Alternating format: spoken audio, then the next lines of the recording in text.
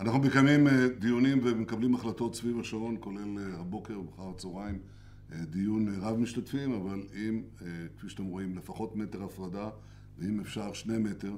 ביום ראשון נקיים ישיבת ממשלה באמצעות וידאו קונפרנס, זאת אומרת שיחת וידאו כדי לשמור על המרחק. אנחנו נותנים דוגמה לאזרחים ואנחנו מקווים שכל אחד מכם נוהג באותה מידה. אנחנו משקיעים מאמצים רבים עכשיו להגדיל את קצב הבדיקות.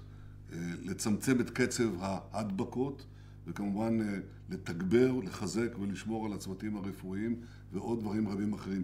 אין לכם מה להסתער על רשתות המזון, יהיה מספיק מזון בכלל וגם לחג.